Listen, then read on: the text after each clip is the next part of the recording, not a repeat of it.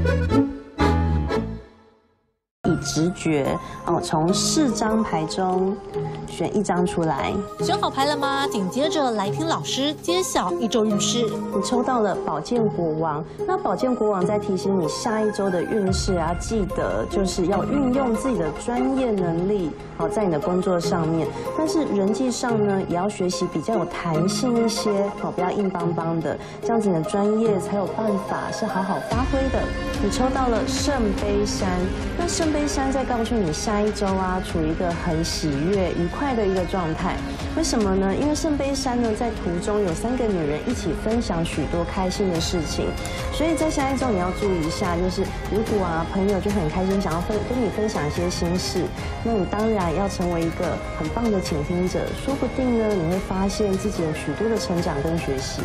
你抽到了权杖侍者，那权杖侍者呢，在告诉你，在接下来这一周，其实你原本就有一些计划想要开始去执行了，那你已经准备好了，那在这一周就要开始这么去做。所以下一周呢，按照自己的计划如何去行动是很重要的。那当你愿意这么做的时候，你的好运就会一直不断的降临。你抽到了钱币十，那钱币十呢，在提醒你，就是接下来这一周你要好好建立你的人际关系，建立人脉，因为有可能在你之后会用得到这些人脉。